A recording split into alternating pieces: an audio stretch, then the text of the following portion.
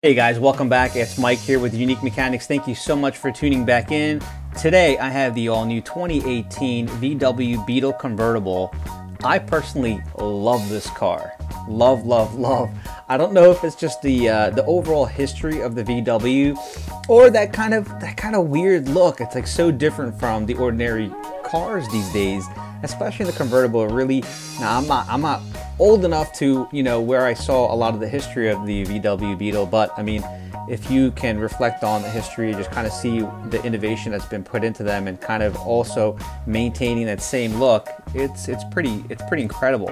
Now this model here starts at $25,440. Let's talk about the performance on this vehicle. It's a 2.0L TSI DOHC 16 valve turbo four cylinder direct injection engine. Does about 174 horsepower with about 184 pounds of torque, which is great.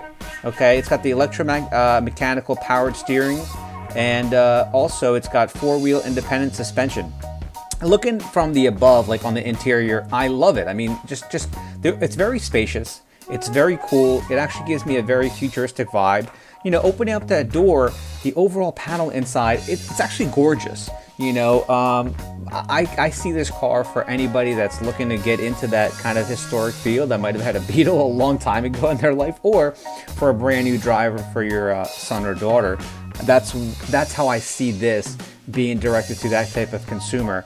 Let's talk a little bit about the safety features. It's got the driver and front passenger front and side airbags, of course, uh, three-point safety uh, belts, all seat positions, anti-lock brakes. It's got the electronic stability.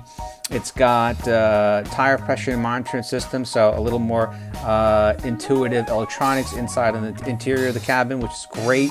Now, the exterior, as you saw, it's got the 17-inch alloy wheels. It's got, uh, I, I, believe it's a heated foldable power adjustable side view mirrors. It's got rain sensors. It's got the rear spoiler.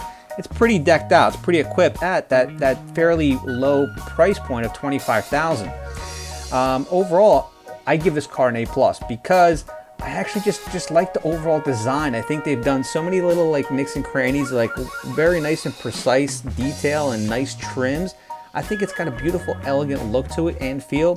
When I was inside the vehicle, I felt very comfortable. I mean, you don't have some of the luxury, incredible stitching or leathers or patterns or, or different patterns on the inside but it was simplified. It was simplified for an everyday drive, but someone that could put the top down and, and be able to just enjoy the ride. That's how I see the car was structured. I mean, as you can see, the interior cabin is it's kind of plasticky. It's pretty plain, but you could you could customize these things to the nines um, across the VW website. I hope you enjoyed the video, guys. Stay tuned for more. Make sure to subscribe. I'll see you guys soon.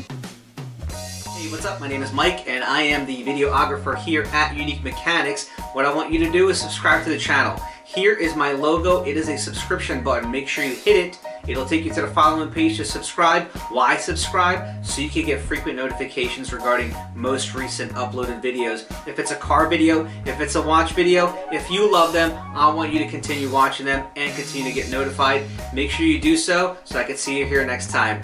Thanks for watching.